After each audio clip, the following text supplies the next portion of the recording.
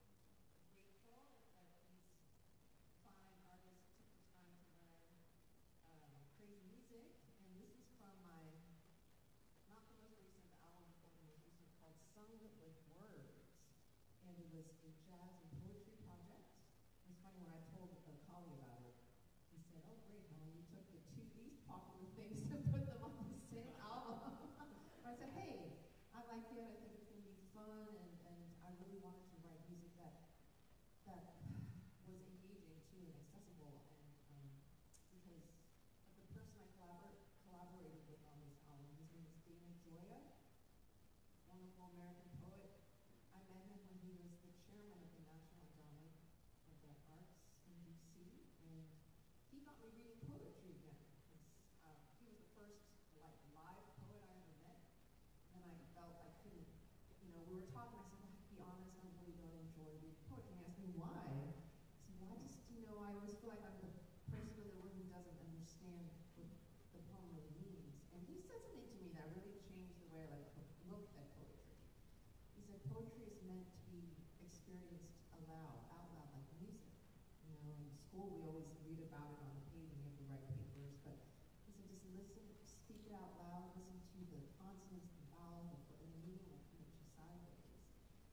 so I started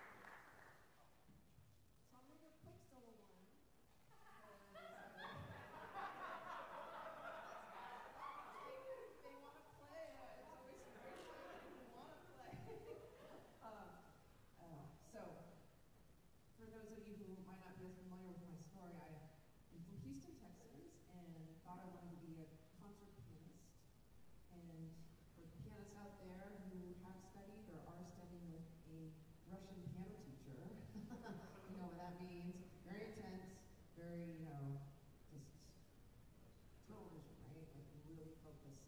So um, I'm the oldest of four, and I was, you know, wanting to go to a fancy conservatory that's what people from my high school did. I went to HHS High School for Performing Visual Arts in Houston, but you know, I'm a child of practical immigrants, and they looked at the price tag and they're like, no.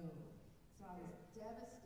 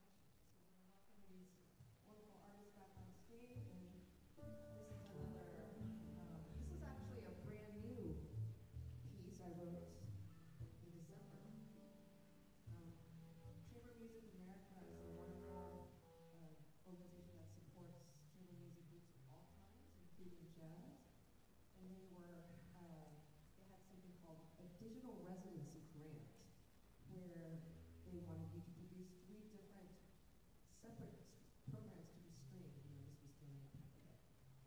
So when I applied, it was unfortunately at the time when I feel like it's happening again, but, but in, in New York City and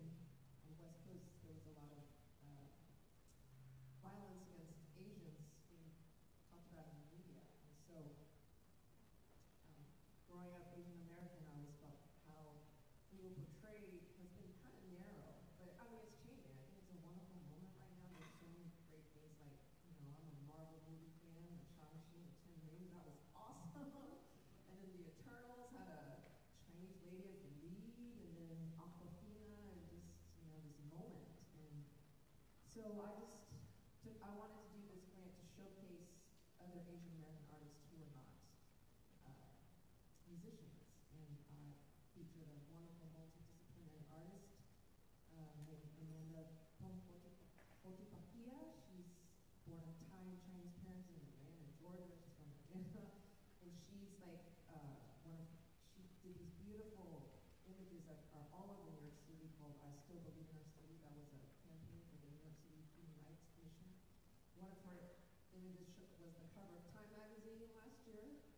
Um, she's painting murals all over the country, like literally walls that big. It's stunning. So she did one, and then I had a rapper, amazing, and then a 20-year-old poet. You know, uh, just it's just so amazing how articulate and smart and just well spoken. And so this is one of her poems called Poem Number Five. Part of a collection of love songs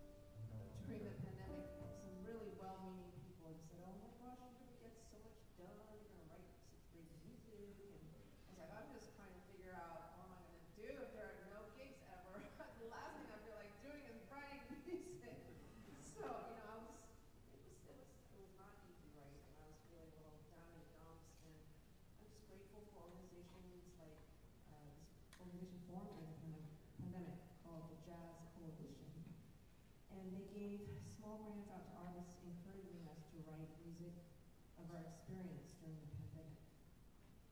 And it's nothing like a deadline to get you going. so um, I wrote a piece that I called Temporality, in the sense of temporal of time and just something being temporary, which was so just hammered home to me during the pandemic. Just taking people, like thinking people would always be around, always be accessible, you know. And as two parts, um, there's one part called Time Loops, which is my experience of time, which was so strange in the pandemic, where one day would seem to take a month to pass, and then a month would seem to pass in a single day. And um, so if you want to hear it, you can go get my CD. it's on. But we're going to do uh, the first movement of it, which is called Elegy for the City, which is my lament for what the city's going through. This is for New York City, but it could be for any city. So uh, thank you for Elegy